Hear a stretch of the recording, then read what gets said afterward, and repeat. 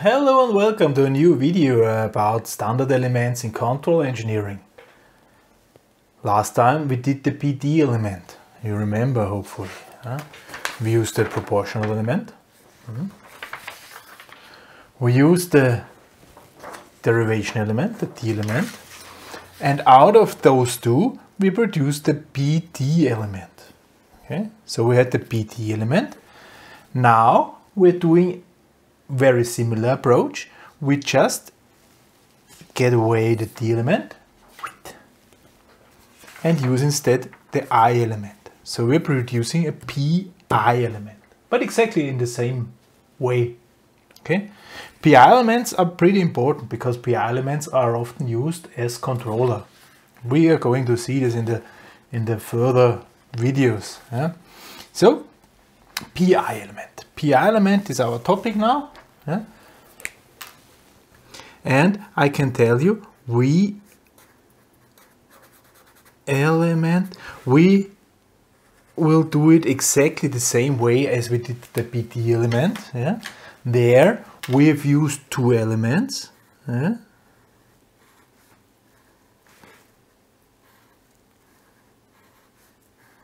One element is the P element. Yeah?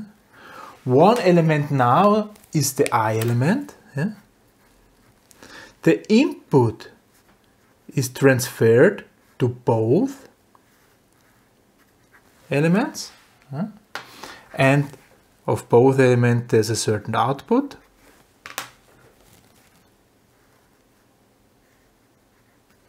This output is summarized and building the total output. So here we have our xi from s, our input. Here we have our xo from s, our output. Hmm? And this shall reflect how a PI element looks like.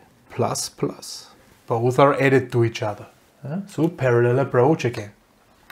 Let's have a look at the transfer function of a P element. This was the transfer function of the P element, K.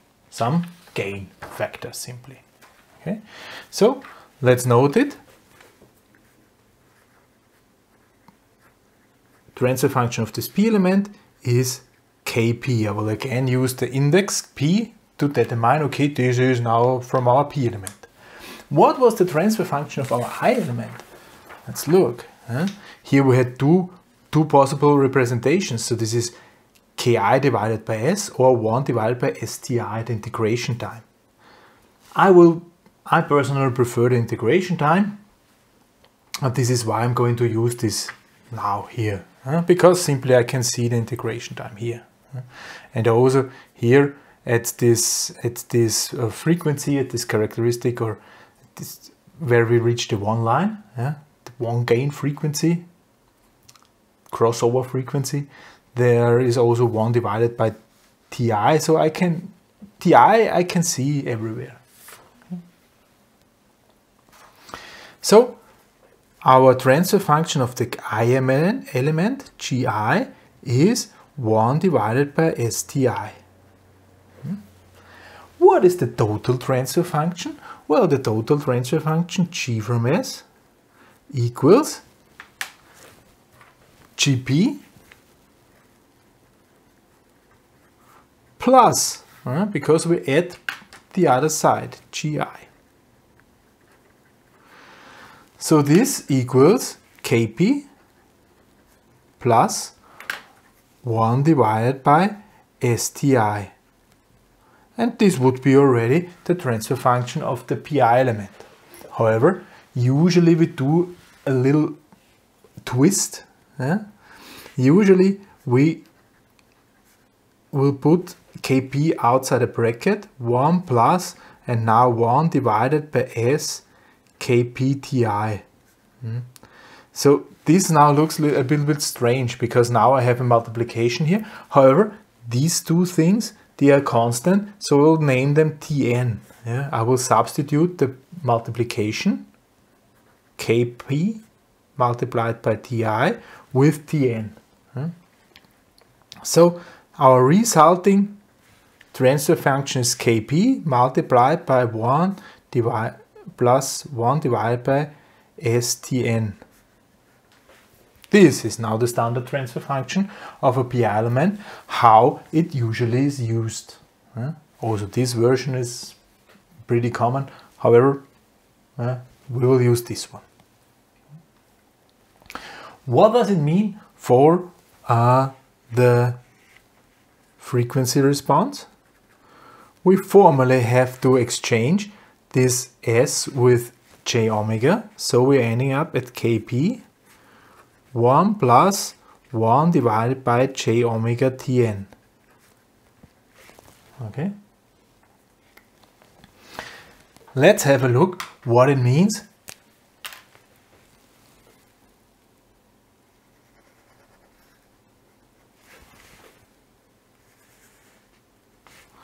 Here's the real axis, here's the imaginary axis.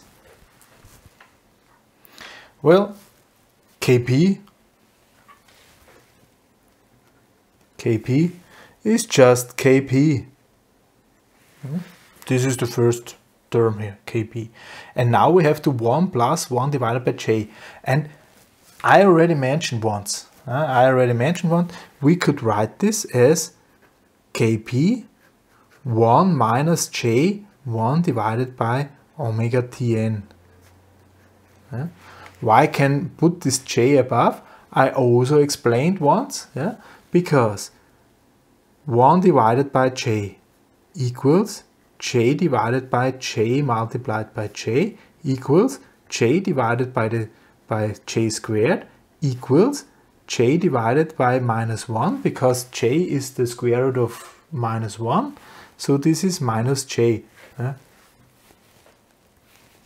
This is what is behind this. So actually we are here 1 and then we are going down to 1 divided by omega tn. This is the other part of the multiplication. This part and this part.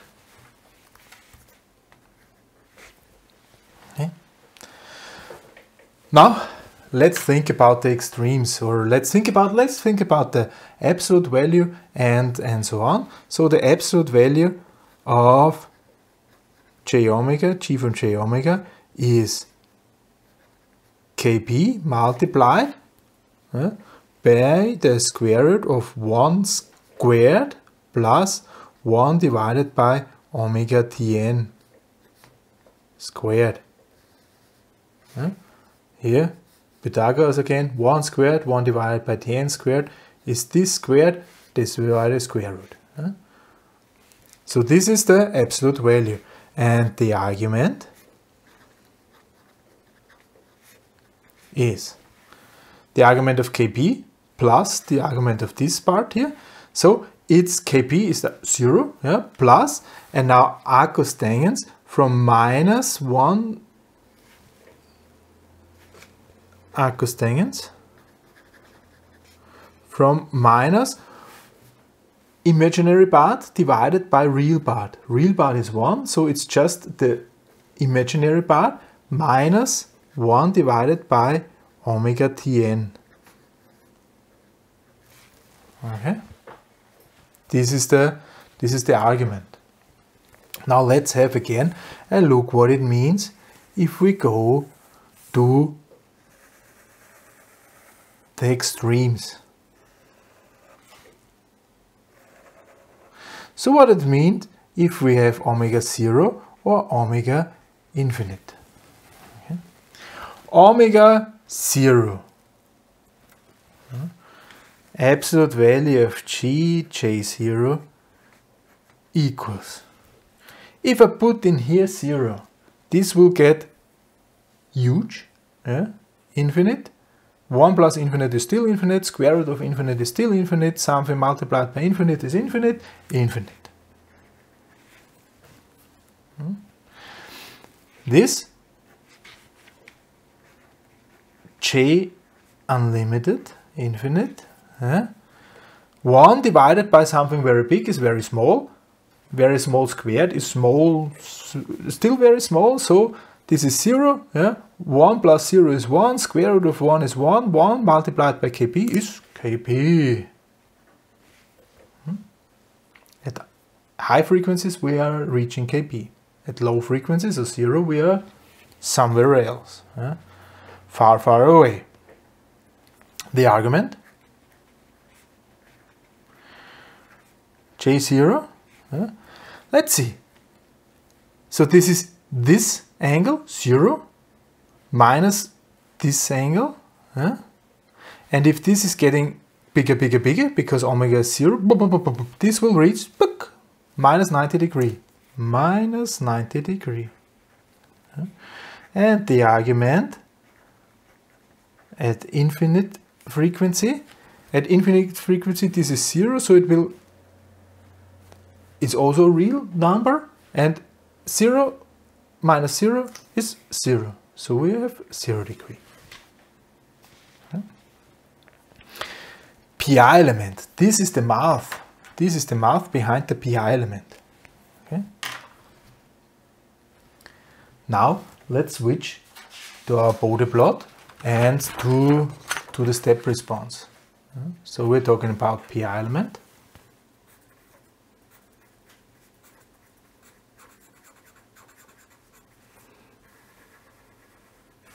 I will transfer the transfer function. So we said this is kp multiplied by 1 plus 1 divided by stn. This means j omega equals kp 1 plus 1 divided by j omega tn. Okay. And we said the absolute value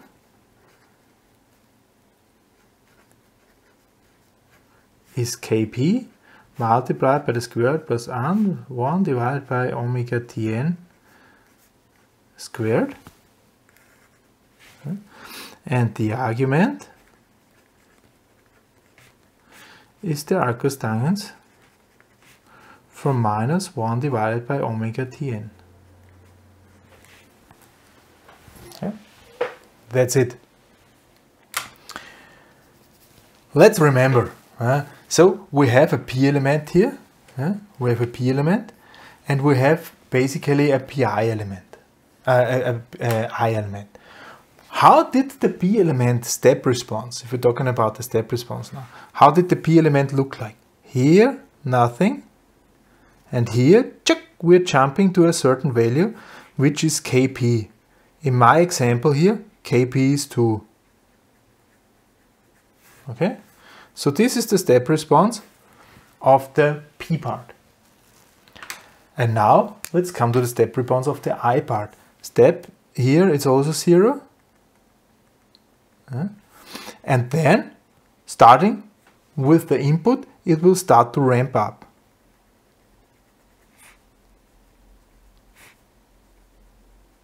Okay, and here we can see integrating time ti. Okay? We've had this. Seen this. Huh? This is the i element. This is the p element. That's it. And now I just have to add those two. Huh? So 0 and 0 is 0. Here we are starting to jump back. This is the P part. And now we are additionally ramping up. This is the step response of a PI element. Hmm?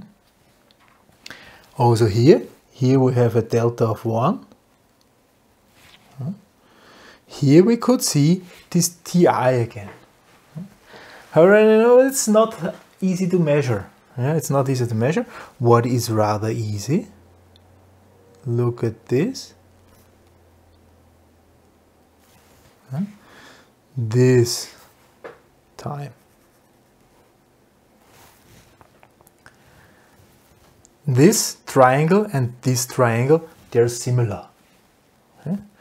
So here in the time ti I grow to 1 here in this time I grow up to kp. So I grow to a, to a value of kp. So this means I need kp multiplied by ti the time. Okay, this we know from somewhere. kp multiplied by ti, it's tn. So this is tn. This is exactly the time here in our transfer function. Now it makes sense that we did this, right? Because we can see it in the step response rather easy. We have just to measure, we have just to extend this line and here is the so-called Nachstellzeit, Tn. Yeah? yeah, step response. Easy, right? Now let's also think about, let's put together the, the Bode plot for our pi element. Let's also think what is the what is the p element. Here we're at k, here we're at 0. So let's draw it in here. k I use 2, so here's 2 line.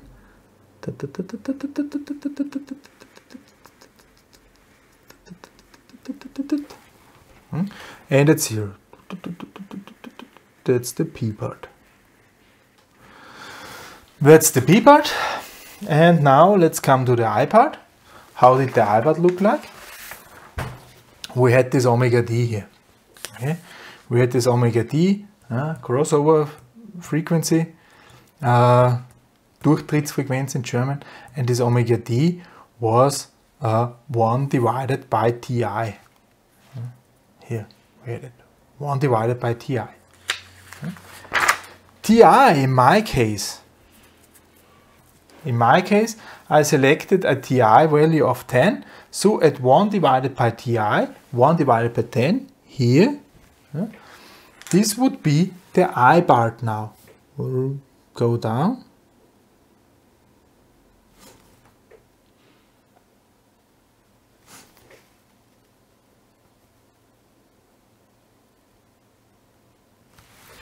And I part we are at minus 90 degree.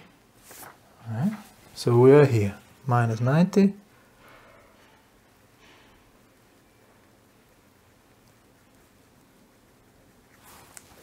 That's it. Now let's again think about how it looks like here. Imaginary, real. So we have here this KP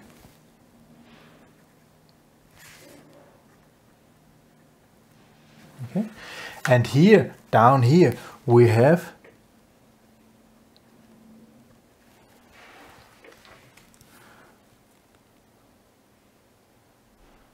one divided by omega ti. Huh? So this is the integration. This is this part, minus 90 degree, yeah? and 1 divided by omega ti. The bigger omega gets, the smaller it gets. Huh? This, this is this part. And we want to build the sum of those two. Huh? If this here is very long, huh? this doesn't really matter. Huh? So if here we have high values, we will look like exactly like, like an I element here. If this here is compared short to this here, it does not really matter that, that the result will be close to Kp. So here at big values, we are here, look like Kp. And in the in transition phase where both are almost equally sized, yeah, what happens if both are equal? Yeah? Then we have here and here the same amount. We are at minus 45 degrees, yeah? because if both lengths are the same, it's a square, And we're at minus 45 degree. And it, this is 1, this is 1. So we have the factor square root of 2 again. Yeah? So we are here somewhere. Here is the point where both are the same. Yeah? This is this value. Here we are at minus 45 degree. Here. Yeah? And we are factor uh, 1 divided by a factor square root of 2, square root of 2 of course, uh, higher. So it will look like this. Okay. Now here, here we know this is omega d. And we said omega d is 1 divided by ti. Here we are at kp. And I want to know how big is this frequency here? This frequency, I want to know where this band is. Yeah? So this is this omega g. Since I want to get up to kp, I know here it's 1. Yeah? I need a factor kp lower frequency. So my omega g equals my omega d divided by kp. Hmm? Because I know it's getting bigger the smaller I get. So I need to divide by kp. So this is 1 divided by kpti. kp multiplied by ti. This is tn. So this is 1 divided by tn. Okay, again we have this tn here, 1 divided by tn, so this band is exactly at 1 divided by tn. Let's see if the math turns out.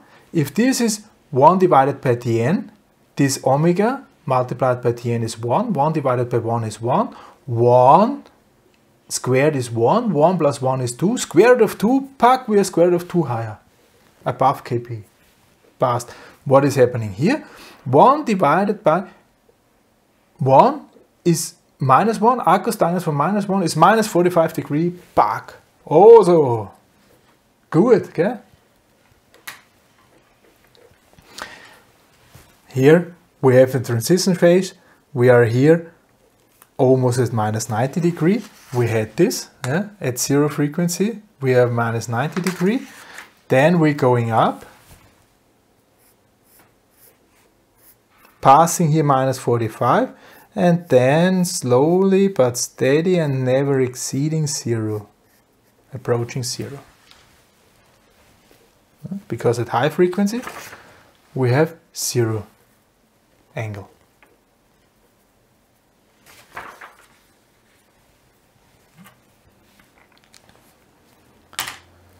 Everything is fitting together again. That's nice. Graphical approaches with just overlapping the two transfer functions, also the mathematical approach, yeah, turned out that everything fits. PI element. Last time, last time, last time, last time we did uh, the PD element. And we said the PD element, this is, you know, there's a jump to infinity. This is not working well in, in reality. So we had the same issue with the D element. And we will try to make the PD element a little bit more realistic by the same approach we made the D element a little bit more realistic by use of a PT1 element. This will then be in next video. Okay? So next video we are producing of a PD element and a PT1 element, a PDT1 element. Long name, even it's an abbreviation, you are going to see. For this time, thank you very much for listening. Goodbye.